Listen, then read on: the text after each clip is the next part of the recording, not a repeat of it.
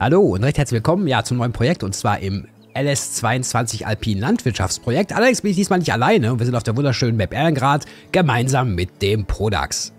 Ja, grüezi und so, würde ich sagen. Hä? Ja, Mahlzeit. Ja, schickes Outfit. Ja. Die Schüche ja, gefallen mir, schön, Poli. Schön, gleichfalls. Hau deine Stiefel und so. Die Ja, sehen ja. richtig cool aus. Hä?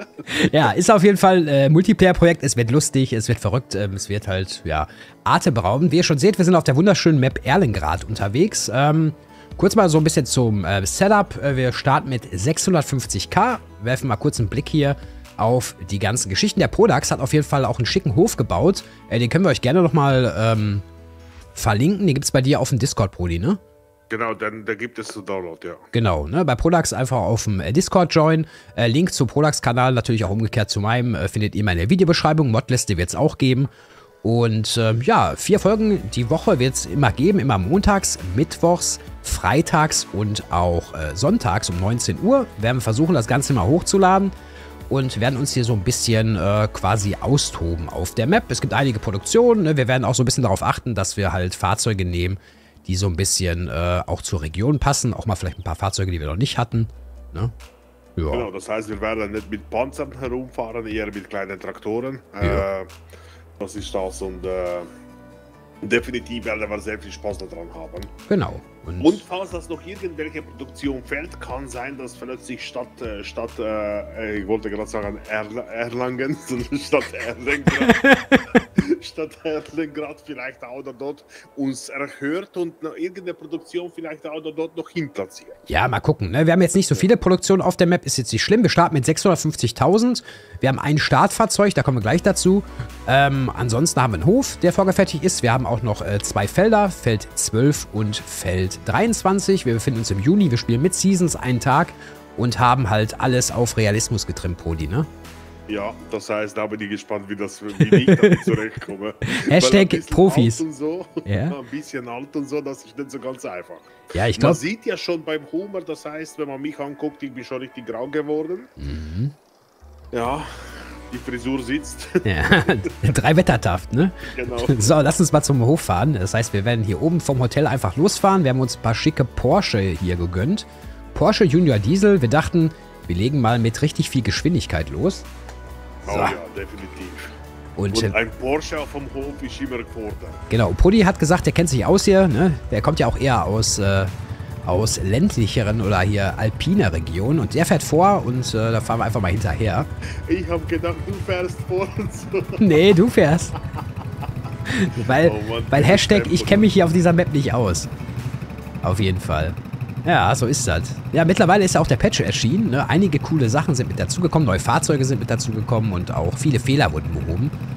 Ähm, ja, wir werden dann mal gucken, dass wir uns hier so ein bisschen durchschlängeln und das Ganze ohne Kredit. Ansonsten hilft Prodi mit seinem, mit seinem Portemonnaie ein bisschen aus, aber ja, Genau, genau. Ich habe da Beziehungen bei der Bank und so, das ist alles kein Thema. Ja, ja. Also bergab fährt er hoch, aber wo wir hier hochgefahren sind, ich glaube 5 km/h, ne? Ja, bergab geht's immer ganz schnell, weil Ja, ja. da musst du nicht einmal bremsen, da, da, da greift die Bremse gar nicht bis nach unten. Ja, ja. Aber Ausblick hier richtig schön. Er ist richtig geil gemacht, ne? Mhm. Sehr schön. Ja, vor allem, vor allem eben, die Map passt ja relativ ganz gut, weil es halt die anderen zwei sind eher flach gehalten und da hast du wirklich mal ganz gute Abwechslung dazu. Das stimmt, ne? Halt geht halt rauf, runter und äh, wir müssen auf jeden Fall auch gucken, dass wir halt. Ja, wir werden auch eher mit kleineren Geräten hier unterwegs sein. Ähm, wir haben auch ein paar Mods drauf, ne? Schaut einfach in die Videobeschreibung rein. Ähm, da findet ihr die ganzen Mods und wir fahren jetzt einfach mal zum Hof. Dann erklärt uns der Prodi so ein bisschen, was wir dort verbaut haben. Ich muss zuerst mal den Hof finden, war schnell. Ja. Ah, guck mal hier, da vorne fährt gerade der Zug, ne? Grüße geht auch raus an Felix, der kennt sich gut aus mit Zügen, habe ich gehört. Ja, Äh. das habe ich auch irgendwie so. Es, wurden so zwei, drei, zwei, drei äh, Videos präsentiert von Felix, wo so in verschiedenen Positionen sich mit Zug begegnen. Ja, ja, das ist auch, äh, auch sehr cool. Ja, wir haben ja auf jeden Fall ein paar Produktionen drauf. Ich glaube, eine Schokoladenfabrik, die Lichti haben wir hier, ne? Dann haben Ja. wir eine Molkerei, meine ich, hätten wir noch drauf. Genau. Und eine Mühle, glaube ich. Und eine Schreiner, äh, nee, Sägewerk. Das war schon hier. Aber wir können ja auch noch welche platzieren, das ist ja gar kein Thema. Gucken wir mal hier, ich glaube links, Brody. Ja. Ja, ich habe auch gemeint links. ja, warum blinkst du dann rechts? Ah ja, Hab rechts geblinkt. Ja, du bringst immer noch In rechts. Fall, in dem Fall habe ich mir falsche Taste belegt. Nämlich das Geile ist, wir haben uns vorher noch vorhin darüber unterhalten vor der Aufnahme. Nämlich wir haben das Ganze jetzt am äh, 16.12. aufgenommen, also da, wo das Update rauskam. Es hat komplett die ganzen Keybindings zerschossen. Sichert euch die immer oder packt die mal wo ein bisschen beiseite. Denn, ähm, ja, es ist halt so, dass äh, ja, die ansonsten immer wieder weg sind beim Update. Ne? Sonst habt ihr genau wie ich. Das heißt, die linke Taste für den rechten Blinker, das, das macht ja Sinn eigentlich. Oder? Ja, ja. Ja, ja. Ne, viele wussten es nicht, Prodi ist auch Linksträger. Deswegen äh, blinkt, er, blinkt er andersrum, als er drückt. Ne? äh, ihr seht schon, das geht auf jeden Fall lustig los. Und äh, wir wollten auch schon ein 19er-Projekt machen, der Poli und ich. Hat nicht ganz geklappt von der Zeit her, aber jetzt im 22er ist es endlich soweit. Das mit Tasten belegen, das hat eigentlich einen taktischen Sinn. Ja, Weil wenn du in den Rückspiegel reinguckst, siehst du alles spiegelverkehrt. Weißt du, Ja, ich meine? ist richtig. Und aus dem Grund. wie Prolax einfach immer falsch blinkt, ne? Das ist so geil. oh Mann. So, wir fahren jetzt erstmal hoch zu unserem Hof und dann stellen wir mal unsere Fahrzeuge ab. Da Ja. fahren wir jetzt gerade bei unserem schönen Wohnhaus vorbei. Das heißt, keine Sorge, wir haben auch getrennte Schlafzimmer und so. Mhm. Das auf jeden Fall. Und da vorne sieht man schon so die Weinreben, ne? Wein, äh, bitte, also Traubenreben. Äh, das heißt, falsche Blinker. nee, diesmal war richtig, Brody. Ja, nein, jetzt ja, zuerst war der falsch. Genau. So, ich würde sagen, wir stellen mal hier ab, ne? Auf Ja, direkt Oh, das staubt ja aber. Wenn man jetzt auch mal kehren können vorher. Ja, tut mir leid, hallo. Äh, alles kannst du auch wieder nicht haben, weißt du, ich meine. So, sehr schön. Dann mach mal eine schöne Ru- Rundführung hier. Ich kenne mich hier gar nicht aus. Ich bin nur zu Gast. Also, du kennst dich hier gar nichts aus, du bist nur zum Gast. Ja. Da siehst du ja ganz unseren wunderschönen Waschplatz, wo du quasi deine Fahrzeuge bzw. deine Geräte hier reparieren bzw. waschen kannst. Da siehst du ja einmal Kercher ganz rechts, habe ich gesehen, steht da. Da vorne stehen noch ein paar Reparaturkisten. Nee, hier steht, Äh, hier, hier steht Stiel. Also ist kein Kercher. Das ist ja Kercher, würde ich meinen. Ja, okay, gut. Hallo, ich Reiniger und so. Ja, ja, ist richtig. Ja. Dann hast du hier eine wunderschöne Tankstelle. Genau, richtig. direkt. Und bevor das wir zum Hof gehen würden, würde ich sagen, komm, komm mal einmal rundherum, damit Ja, ja, wir dir präsentieren, was du denn meistens am Abend, wenn wir dann richtig fest gearbeitet haben, sich irgendwo einfach zur Ruhe setzen können und den genießen können. Ja. Oder? Entweder ist der Ausblick hier über den Weinberg runter ins Tal oder auf diesem Berg oder wie auch immer wachsen ganz, ganz schöne Trauben drauf und daraus werden wir den Saft produzieren. Ah, nice. Und diesen Traubensaft können wir dann nachher definitiv mal schön in aller Ruhe halt eine Runde sinken, würde ich meinen, oder? Ja, würde ich sagen, ne? Schauen wir mal kurz. So. Da sieht man auch noch die Wetterstation, damit man auch die ver gute Vorhersage bekommt. Die hört man jetzt auch, ne? Komm mal hier Ja, ran. die macht, auch, die macht auch noch Geräusche, ja. Das war vor dem Patch nicht so. Ja. Finde ich gut. Also, So, weiter geht's. gehen wir weiter. So, dann geht's hier berg runter, beziehungsweise zu einem kleinen Gartenhäuschen, äh, wo man da platziert hat, wo da gewachsen beziehungsweise hingestellt wurde. Und neben dem Gartenhäuschen, gerade nebenzu, sind zwei Gewächshäuser, wo Ah. wir definitiv versorgen können, beziehungsweise sie werden nachher, nachdem dass sie versorgt worden sind, werden uns nachher mit Salat, mit Tomaten oder Erdbeeren beliefern. Wir müssen mal gucken, was wir machen, weil man hat ja viele Möglichkeiten da, ne? Was man da einstellen kann. Genau. genau. Cool. Also, wenn man jetzt Richtung die Straße läuft, muss man gar nicht zu der Straße kommen, sondern man kann hier seitlich hochlaufen. Da Mhm. kommen wir zu unserem Güllebecken hin. Ah, nice, okay. Das heißt, es ist ein zusätzliches Güllebecken, ne? Das Ja. ist zusätzliches Güllebecken. Sollte aber sehr wahrscheinlich nur bei den Kühen funktionieren. Mhm. Vermute ich mal, sehr wahrscheinlich Schweine werden wir da nicht die Gülle bekommen von den Schweinen. Ja, müssen wir mal gucken. Das sollte auch reichen, ne? Genau. Und wenn wir jetzt ganz hoch gehen, dann kommen wir nachher zu unserem Mistsilo. Ja, Und rechts davon wären dann Schweine. ja. Ah, ah hier haben wir direkt äh, für, für Gülle, Genau. ne?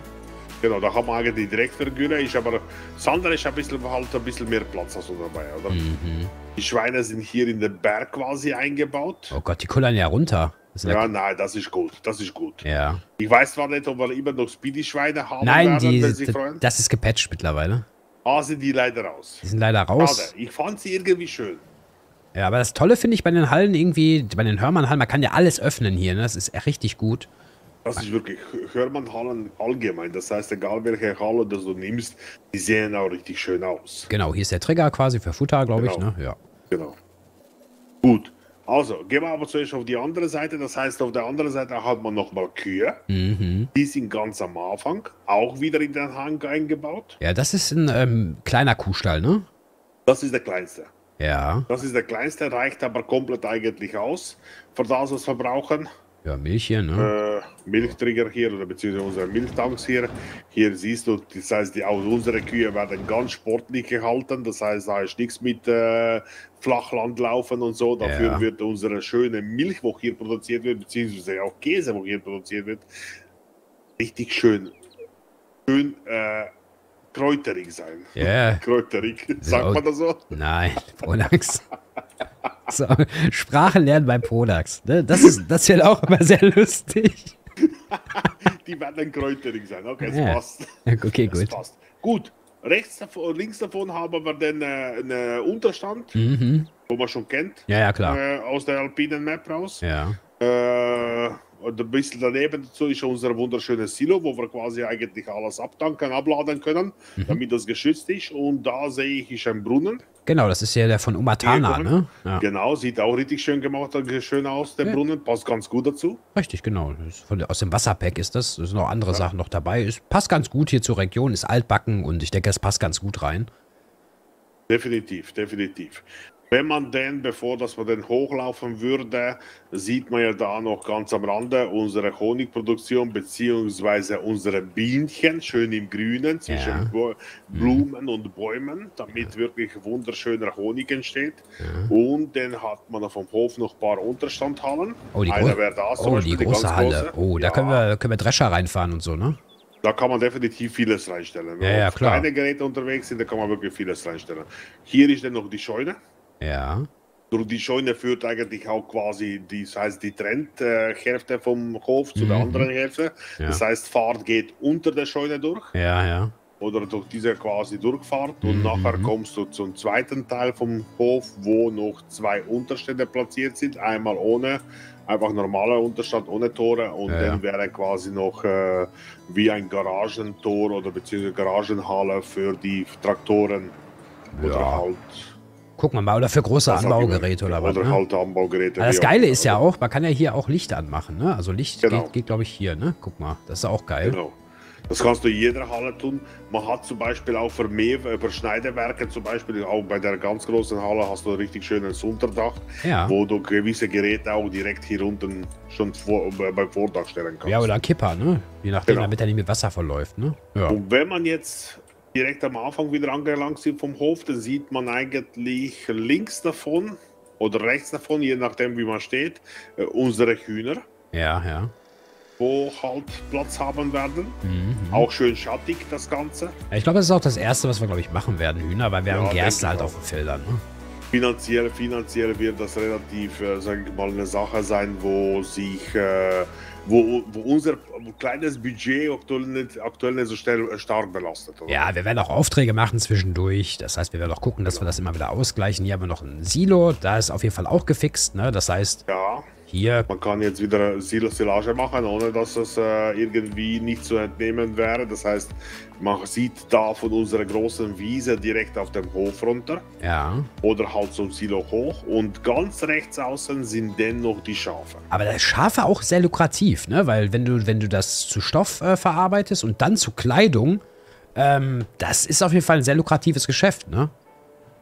Und das ist das Schöne jetzt am LS22. Du kannst wirklich vieles machen Mhm. und du sagst, ich mache bis dahin und nicht weiter, oder? Ja, ja, klar. Das ist auf jeden Fall schon mal einiges, was man da machen kann. Ähm, du kannst Sachen erweitern, es sind viele coole Sachen mit dabei. Man hat Jahreszeit mit dabei, man hat verschiedene Produktionszweige mit dabei. Ähm, man hat einen Helfer mit dabei, der auch noch ein bisschen verbessert wurde. Geile Sounds hat man dabei, neue Fahrzeuge, neue Geräte. Es ist auf jeden Fall richtig, richtig viel, was wir, ähm, was wir dort auf jeden Fall machen können. Und ich finde, die Karte auf jeden Fall idyllisch lädt ein äh, für jede Menge kleine Gerätschaften eher. Und äh, ich sag mal, große Geräte kann ja jeder. Dafür gibt es auch eher so die Elm Creek, würde ich sagen. Und ähm, ansonsten haben wir dann noch die Obelero Map, die ja auch sehr schön und äh, stylisch gehalten ist. Die ist ja auch, die, die ist halt auch nicht verkehrt, ne? Ja. Genau, genau. Ja, dann werden wir, denke ich mal, auf jeden Fall schauen, äh, dementsprechend, dass äh, ja, wir in der nächsten Folge ähm, ja, quasi loslegen. Das soll es erstmal so vorab gewesen sein. Kurzer Überblick, ne, wie es losgeht. In der nächsten Folge geht es dann weiter. Gerne bei mir und beim Prodax ne, vorbeischauen, Däumchen lassen, Kommentar schreiben. Und dann sage ich mal bis dahin, Leute. Macht's gut. Ciao, ciao. Ja, ciao. Tschüss. Bye, bye.